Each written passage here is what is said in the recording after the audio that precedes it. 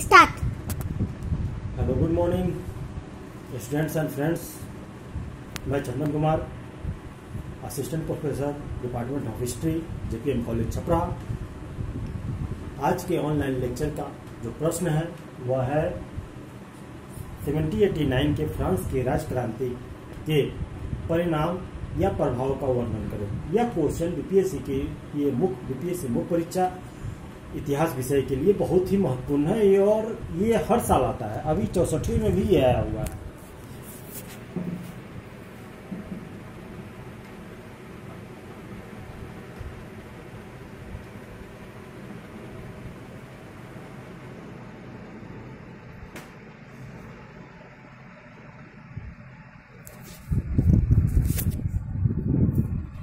जैसा कि हम जानते हैं कि फ्रांस की राजक्रांति 1789 ईस्वी में हुई और बास्तिल 14 जुलाई 1789 ईस्वी को बास्तिल के पतन के साथ ही फ्रांस की राजक्रांति प्रारंभ हो जाती है। ये फ्रांस की राजक्रांति फ्रांस ही नहीं, बल्कि यूरोप सहित संपूर्ण विश्व के लिए एक परिवर्तन बिंदु है। एक बहुत बड़ा ऐतिहासिक परिणाम इस क्रांति ने दिया जो कि विश्व के कमोबेश सभी देशों को इस क्रांति के परिणाम ने प्रभावित किया। तो फ्रांस की राजक्रांति के समय फ्रांस का शासक बुर्बो वंश का लुई सोलहवा था। लुई सोलहवा एक अयोग्य विलासी तथा अदूरदर्शी शासक था, जबकि इसके दादा लुई चौदहवा एक महान सेनानायक, महान शासक और कुशल सेनानायक था, जिसके लुई चौदहवा के शासन काल में फ्रांस एक शक्तिशाली देश के रूप में, यूरोप में स्थापित था। लेकिन लुई सोलहवा के काल में आकर फ्रांस की अंतर्राष्ट्रीय महत्व दिन प्रतिदिन कम हो गई। तो जो फ्रांस की राजक्रांति हुई थी, उस राजक्रांति जो हुई, उसका कारण जो था, वो फ्रांस की राज, फ्रांस के तत्कालीन समाज में आर्थिक, सामाजिक, राजनीतिक सांस्कृतिक विरोधाभास का परिणाम था। मतलब उस समाज में ऐसे विरोधाभास थे जो इस क्रांति के लिए आधार स्तंभ तैयार किए। तत्कालीन फ्रांस एक वंशानुगत, राजतंत्रात्मक, स्वेच्छाचारी राष्ट्र था और ये शासन, प्रशासन में पात्री और सामंत वर्ग की ज़्यादा दबदबा था, इनका एक अधिकार था। इसके साथ ही शासन यानी फ़र्स्ट स्टेट और सेकंड स्टेट को छोड़कर अन्य स्टेट यानी आम जनता जो थर्ड स्टेट के तौर पर जानते थे, इनका महत्व तो कम था। इसके साथ ही देखते हैं कि फ्रांस की राजक्रांति के कौन कौन से कारण थे तो इन कारणों के साथ ही परिणाम भी हमें बताना पड़ेगा। क्योंकि इन फ्रांस की राजक्रांति के परिणाम बताने से पहले हमें फ्रांस की राजक्रांति के कारणों को संक्षेप में बताना पड़ेगा। तो इसमें देखते हैं कि फ्रांस की जो राजक्रांति हुई, लो सोलहवें के शासनकाल में हुई और ये टेनिस कोर्ट शपथ तथा बास्तिल के पतन के साथ ही प्रारंभ हो जाता है, जिसकी अंतिम परिणति बुर्बो वंश का पतन के रूप में होता है। अब राजनीतिक कारण में देखते हैं कि केंद्रीकृत निरंकुश व्यवस्था थी और इस केंद्रीकृत निरंकुश व्यवस्था में लुई सोलहवा एक अयोग और विलासी शासक था, जबकि इसके दादा लुई चौदहवा एक जोके और महान शासक था। उसके मुकाबले इसने यह योग्य नहीं था। फिर हम देखते हैं कि शासन प्रशासन में पादरी और सामंत वर्ग का दबदबा था, मध्यम वर्ग का महत्व काफ़ी कम था, और पादरी और सामंत वर्ग जो थे, इनका शासन प्रशासन के क्षेत्र पर लगभग एक अधिकार था। उच्च पदों सहित अन्य पदों पर सामंतों एवं पादरी वर्ग का कब्जा था।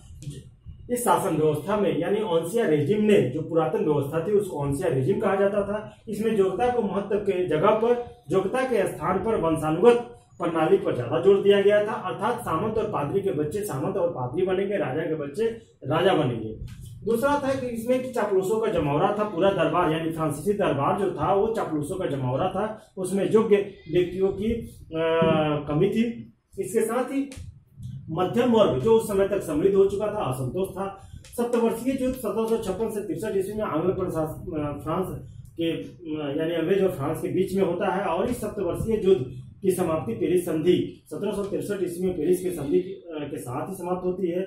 इस सप्तवर्षीय युद्ध में फ्रांस की पराजय होती है और इसका महत्व दिन प्रतिदिन कम होता है। साथ में सप्तवर्षीय युद्ध का प्रभाव यह होता है कि 1760 ईस्वी में फ्रांस भारत में ईस्ट इंडिया कंपनी, यानी अंग्रेज़ी ईस्ट इंडिया कंपनी और फ्रांसिस्टिक कंपनी के बीच में संघर्ष होता है और इस संघर्ष की परिणति जो है 1760 के वांडीवास युद्ध में फ्रांस के निर्णायक हार से निश्चित हो जाती है। अर्थात फ्रांस अब सत्रह सत्रह तिरसठ के संधि के द्वारा फ्रांस को एक भारत जैसा महत्वपूर्ण उपनिवेश से हाथ धोना पड़ता है पर, पर, पर गया जिसका क्षति फ्रांस को काफ़ी उठाना पड़ा। इसके साथ ही हम देखते हैं कि रानी मेरी अंतोनेंट की भूमिका शासन प्रशासन पर ज़्यादा है तथा लू सलामा रानी मेरी अंतोनेंट के प्रभाव में थे जिसके कारण से वे निर्णय लेने में तथा फ्रांस के तत्कालीन जो सामाजिक असंतोष था, राजनीतिक असंतोष था, इन असंतोष को संभालने में वो असफल है चौथा नंबर आते हैं कि मध्यम वर्ग में तीव्र असंतोष था, मध्यम वर्ग की जो जनसंख्या थी, वो काफ़ी ज़्यादा थी, और मध्यम वर्ग चेतनाशील था, इसमें राष्ट्रीयता का प्रभाव राष्ट्रीयता का प्रचार प्रसार हो रहा था। इसके साथ ही राजतंत्रात्मक व्यवस्था की जो कमियाँ थी, उन कमियों के विरोध में आंदोलन के बीच छुपे हुए थे, जो दिन प्रतिदिन बड़े होते हुए बास्तिल के पतन के साथ और राजक्रांति के फ्रांस की राजक्रांति में गुरु वंश के पतन के साथ ही समाप्त होता है। इसके साथ ही देखते हैं कि लुइस के द्वारा स्टेटस जनरल की बैठक नहीं बुलाई जाती थी और इस स्टेटस जनरल में फ़र्स्ट स्टेट यानी पादरी वर्ग, सेकंड स्टेट यानी सामंत वर्ग और थर्ड स्टेट मतलब पादरी और सामंत को छोड़कर शेष वर्ग यानी आम जनता का एक स्टेटस जनरल था, बैठक था इसमें प्रतिनिधि लेते थे, लेकिन इस स्टेटस जनरल की बैठक लुइस ने कई सालों से नहीं बुलाया। फिर हम देखते हैं कि ये लुइस एक सौ शासन और स्थापित करना चाहता था, तथा मनमाना कर लगाता था और मनमाने कर की वसूली करता था, जबकि लोक कल्याण के कार्यों पर इन करों का व्यय नहीं करके भोग विलास और दरबारी खर्चों में इसका इस्तेमाल किया जाता था। इसके साथ ही देखते हैं कि इस काल में सेक्रेटरी जनरल के साथ पार्लियामा भी निष्क्रिय हो जाता है और इन दोनों का पर्याप्त सहयोग लू सलामा के द्वारा नहीं लिया गया, जो इस फ्रांस के राजक्रांति का एक प्रमुख कारण है। इसके साथ ही देखते हैं कि तत्कालीन फ्रांस सैद्धांतिक तौर पर केंद्रीकृत था, लेकिन व्यवहारिक तौर पर तत्कालीन फ्रांस जो है, उसमें शासन प्रशासन में विभिन्नता थी और दो प्रकार के प्रांत थे। पहला प्रकार के प्रांत जो था, वो सामंतों के द्वारा संचालित होता था। सामंतों के सामंतों के स्वतंत्रता पर आधारित था और दूसरे प्रकार के प्रांत में सम्राट द्वारा, यानी लुई सोलहवा द्वारा नियुक्त किए गए प्रतिनिधि शासन करते थे। इस स्थिति में केंद्रीकृत राष्ट्र नहीं होने के कारण शासन प्रशासन न्याय के क्षेत्र में विभिन्न प्रकार के कानून व्यवस्था विद्यमान थी, जिसका अंततः खामियाजा आम जनता, यानी ठंड स्टेट को उठाना पड़ता जिसमें उद्योगपति, वकील, डॉक्टर, शिक्षक जैसे पत्रकार जैसे लोग शामिल थे। इसके साथ ही हम देखते हैं कि सामाजिक कारण में समाज का विभाजन तीन वर्गों में था। फ़र्स्ट में फ़र्स्ट स्टेट में पादरी, सेकंड स्टेट में सामंत और थर्ड स्टेट में पादरी और सामंत को छोड़कर आम जनता और इस आम जनता में विशेषकर मध्यम वर्ग, इस मध्यम वर्ग ने ही फ्रांस के राज क्रांति का नेतृत्व किया और इस गुर्जा वर्ग के नेतृत्व में ही फ्रांस की राज क्रांति का सम, सब सफल हो पाई। इसके साथ ही हम देखते हैं कि शासन प्रशासन पर जो एक अधिकार था वो सामंत और पादरी वर्ग का था जबकि शासन प्रशासन में मध्यम वर्ग भी अपनी भागीदारी चाहता था। उस समय शासन उस समय मध्यम वर्ग में चेतना और शिक्षा प्रचार प्रसार काफ़ी तीव्र गति से फैलाव हो रहा था तथा ये ऑनसिया रेजिंग व्यवस्था की प्रणाली से काफ़ी व्यतीत थे, काफ़ी प्रताड़ित थे और इस स्थिति में इस व्यवस्था को समाप्त करने के लिए वो उद्वेलित थे, प्रयत्नशील थे। इस प्रकार से फिर आते हैं कृषक मजदूरों की दयनीय स्थिति थी, महिलाओं की भी दयनीय स्थिति थी। शिक्षा जो था, वो अब शिक्षा का तेज़ी से प्रचार प्रसार हो रहा था और मध्यम वर्ग, समृद्ध और शक्तिशाली हो रहा था, जिसमें शिक्षा का स्तर ज़्यादा था। इसके साथ ही आर्थिक कारण देखते हैं कि मनमाना कर राजा द्वारा लगाया जाता था और उसको वसूला भी जाता था। राजकोष रिक्त था। सत्रह सौ छप्पन तिरसठ जिसमें आंग्ल फ्रांसीसी युद्ध में फ्रांस की हार हो जाती है, जो उसकी माता और फ्रांस के राजकोष के रिक्त होने का एक बड़ा कारण भी था। इसके साथ ही देखते हैं कि इसके बावजूद भी लुई सोलोमा के द्वारा अमेरिकी स्वतंत्रता संग्राम, जो कि सत्रह सौ छिहत्तर से सत्रह सौ तिरासी ईस्वी तक चला, उसमें आंग्ल, यानी अंग्रेज़ों के विरोध में अमेरिकियों की तन बंधन से सहयोग किया जाता है और इस सहयोग के फलस्वरूप राजकोष रिक्त हो जाता है, जो और इस राजकोष के रिक्त, रिक्तता की पूर्ति हेतु फ्रांसीसी जनता पर मनमाना कर लगाया जाता है, जिसका विरोध जनता द्वारा किया गया। इसके साथ ही देखते हैं कि संजोग से उस काल में अकाल भी पड़ जाता है और अकाल पड़ने के कारण कृषकों और मजदूरों की स्थिति काफ़ी खराब हो जाती है और वे सरकार के विरुद्ध, यानी लुई सलोवा के विरुद्ध ऑनसिया रेजिम के विरुद्ध आंदोलन के लिए प्रयत्न होते हैं और कई जगहों पर अनाज के भंडार, रोटियों के भंडार और शराब लूट लेते हैं। इसके साथ ही देखते हैं कि सप्तवर्षीय युद्ध में पेरिस संधि के द्वारा सप्तवर्षीय युद्ध समाप्त होता है और इसे के संधि के फलस्वरूप फ्रांस को भारत जैसा एक महत्वपूर्ण उपनिवेश हाथ निकल, हाथ से निकल जाता है। फिर देखते हैं कि भूमि पर पादरी और सामंतों का अधिकार था और इस अधिकार के फलस्वरूप जो मध्यम वर्ग थे, जो अन्य वर्ग था, उनको कम था, जबकि उनकी जनसंख्या ज़्यादा थी। कुछ प्रकार के नाजायज कर भी शासन द्वारा उछला जाता था जिसको बेमनेट कहा जाता था। इसके साथ नमक कर गाबेरी भी उछला जाता था। फ्रांस की राजक्रांति में दार्शनिकों का योगदान भी रहा और इस दार्शनिकों के योगदान में महत्वपूर्ण दार्शनिकों में मॉन्टेस्कू जिन्होंने स्पिरिट ऑफ़ लॉ की, की रचना की और इन्होंने एक शक्ति के पृथकरण का सिद्धांत दिया तथा इन्होंने इंग्लैंड के सीमित इंग्लैंड के राजतंत्र व्यवस्था को अपना आदर्श माना। इसके साथ ही वाल्टेयर भी सीमित राजतंत्र के समर्थक थे तथा लोक कल्याणकारी राजतंत्र में व्यवस्था को आदर्श मानते थे वाल्टेयर ने चर्च का तीव्र विरोध किया। रूसो रूसो प्रजातंत्र के समर्थक थे और इन्होंने सोशल कॉन्टेक्ट नामक एक पुस्तक लिखी और इस पुस्तक में कहा कि मानव जो है वो जन्म के साथ ही स्वतंत्र पैदा लेता है लेकिन वो हमेशा जजीरों में जकड़ा हुआ रहता है। इस प्रकार से उन्होंने व्यक्तिगत स्वतंत्रता व्यक्तिगत मानवाधिकार और, और प्राकृतिक स्वतंत्रता पर बल दिया। इसके साथ ही कहा, उनकी एक महत्वपूर्ण कथन था रूसो का, कि फ्रांस में कोई फ्रांस की व्यवस्था खराब ही नहीं है, बल्कि फ्रांस में कोई व्यवस्था ही नहीं है। मतलब फ्रांस में जो व्यवस्था थी वो इतनी खराब थी कि वो व्यवस्था कहलाने के काबिल नहीं थी। इसके साथ ही हम देखते हैं कि फ्रांस की राजक्रांति में रॉबस्पियोर, दांतो नेकर, मिरावो, लफायत, तुर्जो नेकर, दामुल जैसे महत्वपूर्ण क्रांतिकारियों का एक बहुत बड़ा वर्ग तैयार था, जो मध्य वर्ग का नेतृत्व कर रहा था। इसके साथ ही हम आते हैं अन्य दार्शनिकों में तो दिद्रो का नाम, संतो बिरना का नाम, तिरजो और नेकर का नाम लिया जा सकता है। और इन दार्शनिकों को इन सभी कारणों के कारण फ्रांस की राजक्रांति सफल। अब परिणाम। परिणाम के रूप में आते हैं तो पहला परिणाम हम देखते हैं तो फ्रांस की राजक्रांति का व्यापक परिणाम पड़ा, और यह परिणाम सिर्फ़ फ्रांस पर ही नहीं, बल्कि पूरे यूरोप सहित संपूर्ण विश्व पर पड़ा। तो फ्रांस पर क्या परिणाम पड़ा या फ्रांस पर क्या प्रभाव पड़ा तो सबसे पहला प्रभाव पड़ा कि बुर्गो राजवंश की समाप्त हो जाता है। अर्थात लुई सोलमा के बाद अब फ्रांस में राजतंत्र और व्यवस्था समाप्त हो जाती है, उसके तहत, संविधान के तहत एक संवैधानिक व्यवस्था अपनाई जाती है। दूसरा नंबर देखते हैं कि विशेषाधिक विशेषाधिकार वर्ग की समाप्ति हो जाती है मतलब फ़र्स्ट स्टेट और सेकेंड स्टेट समाप्त हो जाते हैं। और तीसरा देखते हैं कि मध्यम और निम्न वर्ग की दशा में सुधार होता है और इस क्रांति के बाद मध्यम वर्ग जो है वो काफ़ी शक्तिशाली हो जाता है क्योंकि फ्रांस की राज क्रांति का नेतृत्व वो बुर्जुआ वर्ग के द्वारा ही किया गया था और इसी बुर्जुआ वर्ग के नेतृत्व में फ्रांस क्रांति संपन्न हो पाई थी। जिसमें और इस बुर्जुआ वर्ग में शिक्षक वकील डॉक्टर उद्योगपति के सहित इन, इन इस बुर्जुआ वर्ग का समर्थन किसान और मजदूरों का के द्वारा भी दिया गया। फिर हम देखते हैं कि संवैधानिक राज, राजत्व की स्थापना हुई और एक सदनी व्यवस्था अपनाई गई। इसके साथ ही आर्थिक प्रभाव के रूप में देखते हैं तो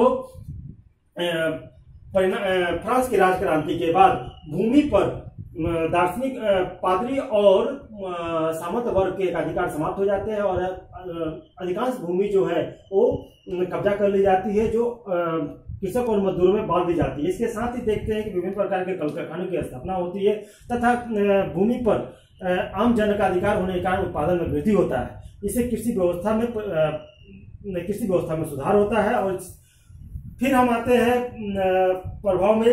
तो देखते हैं कि प्रशासनिक, संवैधानिक और न्यायिक सुधार की बात होती है और इस प्रकार से अब फ्रांस को एक केंद्रीकृत तौर पर एक शासन, प्रशासन और न्यायिक सुधार में लाया जाता है। और विशेषकर नेपोलियन बोनापार्ट, जो फ्रांस की क्रांति का दिन था, इसके द्वारा नेपोलियन कोड लाया जाता है और इस नेपोलियन कोड के द्वारा कानूनी व्यवस्था में काफ़ी सुधार हुआ, जो कि आज भी किसी न किसी रूप में नेपोलियन कोड फ्रांस में चल ही रहा। इसके साथ ही हम देखते हैं कि संवैधानिक सुधारों में राजतंत्र व्यवस्था की जगह पर संवैधानिक राजस्व को अपनाया गया। फिर मानव अधिकार की घोषणा यानी मानव अधिकार की स्वतंत्रता, समानता, बंधुत्व की घोषणा पर बल दिया गया तथा प्राकृतिक अधिकार, अभिव्यक्ति की स्वतंत्रता, धर्म निरपेक्षता पर बल दिया गया और इसके आधार पर शासन व्यवस्था की नींव रखी गई। इसके साथ ही देखते हैं कि फ्रांस के क्रांति जो थी, उस फ्रांसीसी क्रांति में काफ़ी हिंसक संघर्ष हुआ, जिसमें काफ़ी लोग मारे गए। यहाँ तक कि फ्रांस का यह संघर्ष जो है एटी नाइन में ही समाप्त नहीं हुआ, बल्कि इसके बाद भी तेईस सालों तक आंतरिक संघर्ष चलता रहा और इस संघर्ष आंतरिक संघर्ष में विदेशी शक्तियों का भी हस्तक्षेप फ्रांस में बना रहा। इसके साथ ही हम देखते हैं कि फ्रांस पर इस क्रांति के बाद ही एक नेपोलियन बोनापार्ट जैसे व्यक्तित्व का उदय होता है और इस नेपोलियन बोनापार्ट के संबंध में जे एच स्ट्रीट का कहना है कि फ्रांस के इतिहास जो है, यूरोप का इतिहास है। यानी फ्रांस की राजक्रांति का जो इतिहास है, इसके बाद का इतिहास, ये यूरोप का इतिहास है और फ्रांस का राजनायक नेपोलियन। फ्रांस का राजनायक नेपोलियन जो है, ये यूरोप का नायक बन जाता है। क्योंकि नेपोलियन बोनापार्ट के काल में फ्रांस अपने सर्वश्रेष्ठ यानी चरमोत्कर्ष स्थिति में आ जाता है और फ्रांस नेपोलियन बोनापार्ट ने जर्मनी, इटली स्पेन पर अधिकार कर लेता है। इस प्रकार से फ्रांस की महत्ता पूरे यूरोप में स्थापित हो जाती है। इसका एक और कारण है कि नेपोलियन बोनापार्ट के प्रभाव के कारण ही इटली जर्मनी में राष्ट्रीयता का उदय होता है, जो कि उन्नीसवीं शताब्दी में जर्मनी और इटली के एकीकरण के रूप में आता है। यदि जर्मनी और इटली में नेपोलियन बोनापार्ट यानी फ्रांसीसी शासन व्यवस्था दुखदायक एवं कष्टदायक थी, लेकिन इससे राष्ट्रीयता का उदय हुआ और अंततः उनके एकीकरण के रूप में संपन्न होता है।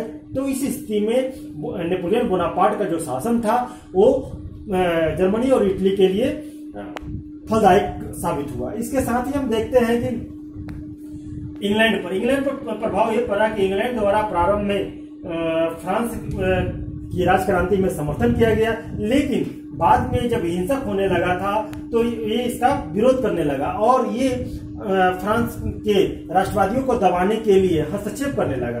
दूसरा, हम देखते हैं कि इंग्लैंड पर प्रभाव ये पड़ा कि पहले वो जहाँ समर्थन कर रहा था, लेकिन सितंबर हत्याकांड और रॉब्सपियर द्वारा आतंक का राजा स्थापित करना तथा राजा रानी की हत्या ने इंग्लैंड को इस क्रांति से मोह भंग हो गया और अब इंग्लैंड की व्यवस्था भी सचेत हो गई। अब उसको यह डर डर लगने लगा कि जो काम फ्रांस में, फ्रांस की जनता के द्वारा किया गया वैसा ही इंग्लैंड की जनता के जो सुधार मांग है, संसदीय सुधार मांग है, यदि किया गया तो काफ़ी इंग्लैंड के लिए समस्या हो जाएगी। इस स्थिति में इंग्लैंड के सरकार के द्वारा इंग्लैंड के सुधारवादियों को क्रूरतापूर्वक दमन किया गया।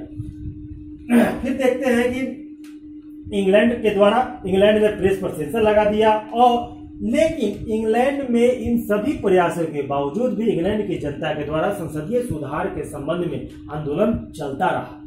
फिर हम आते हैं शेष यूरोप पर। फ्रांस की राजक्रांति का क्या प्रभाव पड़ा? तो फ्रांस की राजक्रांति का शेष यूरोप पर प्रभाव यह पड़ा कि यूरोप के पुरातन व्यवस्था पर यह प्रहार किया। ऑनसिया रेजिम यूरोप में कई ऐसे राष्ट्र थे जहाँ पुरातन व्यवस्था थी और इस पुरातन व्यवस्था को समाप्त करने में फ्रांस की राज क्रांति का बहुत बड़ा योगदान रहा। और इसके साथ ही हमने ये भी अभी बताया था कि शेष यूरोप में इटली और जर्मनी भी सम्मिलित थे और फ्रांस की राज क्रांति और नेपोलियन बोनापार्ट के उदय और नेपोलियन बोनापार्ट के विजय के फलस्वरूप इटली और जर्मनी में जो राष्ट्रीयता का उदय हुआ, उस राष्ट्रीयता के फलस्वरूप तथा नेपोलियन बोनापार्ट के शासन के फलस्वरूप इटली और जर्मनी का एकीकरण होता है, जो फ्रांस की राजक्रांति की ही देन मानी जा सकती है। इसके साथ ही हम देखते हैं कि यूरोपीय आंदोलन था जो फ्रांस से प्रारंभ हुआ था, और ये यूरोपीय आंदोलन फ्रांस से ज़रूर प्रारंभ हुआ, लेकिन बाद में पूरे यूरोप तक फैल गया और पुरातन व्यवस्था यानी ओंसिया रेजिम की समाप्ति के लिए आंदोलन यूरोप के कई देशों में प्रारंभ हो गए। इसके साथ ही हम देखते हैं कि राजनीतिक और मानव अधिकारों की मांग को लेकर जन आंदोलन यूरोप में होने लगा और कई देश के कई देशों के जो सरकार थी, पुरातन व्यवस्था थी, वो या तो बदल गई या ये जन आंदोलनों को दबाने का प्रयास कर रही, करने लगी। इसी के दौरान 1815 ईस्वी में वाटरलू के युद्ध में नेपोलियन बोनापार्ट की पराजय हो जाती है और नेपोलियन बोनापार्ट के पराजय होने के कारण ही फ्रांस के जो चरमोत्कर्ष शक्ति का चरमोत्कर्ष था वो कम हो जाता है। और अब वो ऑस्ट्रेलिया के जो चांसलर थे, मैटर्निक, ऑस्ट्रेलिया के चांसलर मैटर्निक के प्रभाव के फलस्वरूप यूरोप के देशों के द्वारा 1815 में वियना कांग्रेस आयोजित किया जाता है और इस वियना कांग्रेस में ऑस्ट्रेलिया और ऑस्ट्रेलिया के चांसलर मैटर्निक का प्रभाव परिलक्षित होता है। इस वियना कांग्रेस का जो प्रमुख लक्ष्य था, प्रमुख उद्देश्य था, उन प्रमुख उद्देश्यों में पहला उद्देश्य था कि फ्रांस के बढ़ते हुए शक्ति पर नियंत्रण लगाया जाए और दूसरा था कि जो फ्रांस में राष्ट्रीयता की लहर बढ़ गई है और राजतंत्रात्मक सुरक्षा राजतंत्रात्मक व्यवस्था के विरोध में जो आंदोलन चल रहे थे, ऐसे आंदोलन का यूरोप में तीव्र दमन किया जाए। फिर, इसके साथ ही हम देखते हैं कि आंदोलन पर रोक लाना। विश्वव्यापी क्या प्रभाव पड़ा? तो विश्वव्यापी स्थायी प्रभाव जो पड़ा फ्रांस की राज क्रांति का, वो यह था कि मानव अधिकारी की घोषणा हुई और इसमें अभिव्यक्ति की स्वतंत्रता, मानव अधिकारी की घोषणा तथा मानव स्वतंत्रता पर बल दिया गया। स्वतंत्रता, समानता एवं बंधुत्व को माना गया और ये बताया कि कानून के समक्ष समानता की बात कही गई। इस, इसके साथ ही हम देखते हैं कि स्वतंत्रता, समानता व बंधुत्व की जो भावना फ्रांस की राज क्रांति में जन्म लिया था, उसके बाद संपूर्ण विश्व में फैल गया और इसका प्रभाव भारत सहित विश्व के लगभग सभी देशों में पड़ा। जवाहरलाल नेहरू, पंडित जवाहरलाल नेहरू का यह कथन था कि फ्रांस की राज क्रांति से जो गणतंत्र और मानवाधिकारों के विचार जो उभरे, जो निकले, वो यूरोप ही नहीं, बल्कि पूरे विश्व को प्रभावित किया। यह विचार पंडित जवाहरलाल नेहरू ने अपने पुस्तक में उल्लेखित किया है। इसके साथ ही हम देखते हैं कि दूसरा नंबर की अस्थायी प्रभाव क्या पड़ा? तो महिला सशक्तिकरण के क्षेत्र में, अर्थात इस क्रांति के बाद महिलाओं को भी पुरुष के बराबर समान दर्जा देने की बात की गई और इस संबंध में जो पहला प्रयास था नारी सशक्तिकरण का, महिला सशक्तिकरण का, वो मेरी वोल्सन क्राफ्ट के द्वारा किया गया था, जो महिला सशक्तिकरण आंदोलन की परिणेता के रूप में जाने जाती हैं। इसके साथ ही देखते हैं कि कानून के समक्ष समानता की बात की गई यानी कानून के समक्ष समानता और कानून के, के समक्ष समानता की बात की गई जो बहुत बड़ी उपलब्धि थी। इसके साथ ही शक्ति के पृथककरण का सिद्धांत भी फ्रांस की राज क्रांति की देन थी मोन्टेस्क्यू की देन थी जो आज भी विश्व के विभिन्न देशों में भारत में भी इस पृथककरण सिद्धांत को अपनाया जाता है। फिर फ्रांस की राज क्रांति के बाद जो राष्ट्रीय का प्रचार प्रसार हुआ, इस राष्ट्रीयता के प्रचार प्रसार के फलस्वरूप जर्मनी, इटली का एकीकरण हुआ और इस जर्मनी, इटली के एकीकरण के साथ ही जर्मनी एकीकरण दिन प्रतिदिन समृद्ध होते गए और यहाँ पर उग्र राष्ट्रवाद और सैन्यवाद का उदय हुआ, जो अंततः प्रथम विश्व युद्ध और द्वितीय विश्व युद्ध के रूप में नज़र आता है। फिर हम देखते हैं कि प्रजातंत्र और लोकतंत्र आंदोलन फ्रांस की राज क्रांति के बाद प्रजातांत्रिक और लोकतांत्रिक आंदोलन प्रारंभ हो गए थे और ये यूरोप के विभिन्न देशों में फैल गए थे, जो जो पुरातन व्यवस्था को समाप्त कर रहे थे।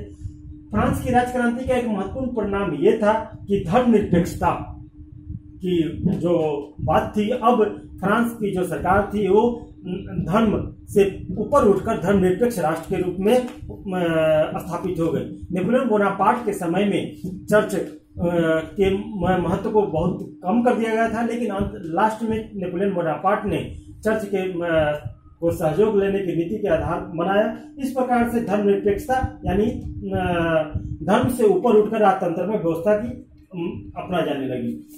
भारत पर प्रभाव यह पड़ा कि फ्रांस की राजक्रांति के समय 1789 ईस्वी तक फ्रांस भारत जो था वो इंग्लैंड ईस्ट इंडिया कंपनी के प्रभाव के स्वरूप प्लासी और बक्सर के युद्ध हुए थे और प्लासी और बक्सर के युद्ध के द्वारा बंगाल पर ईस्ट इंडिया कंपनी स्थापित हो गई थी और धीरे धीरे धीरे करके ये भारत के विभिन्न देशी राज्यों, प्रांतों पर अधिकार कर रही थी। दूसरा इसमें ये देखा जा सकता है कि जो सत्रह में पेरिस की संधि हुई थी, उस संधि के परिणाम स्वरूप भारत में फ्रांसीसी कंपनी जो है, थी, वो चार जगह पर सिमट कर रह गई, जो पांडिचेरी, यनम, माहे कराईकल इसके अलावा अन्य, इसके साथ ही हम देखते हैं कि जो ईस्ट इंडिया कंपनी के मुकाबला करने के लिए एक प्रमुख शक्ति, फ्रांसीसी शक्ति थी, उस फ्रांसीसी शक्ति का इस भारत में समाप्ति हो गया था और फ्रांस जो है, भारत जैसा एक महत्वपूर्ण उपनिवेश को हाथ धोना पड़ा।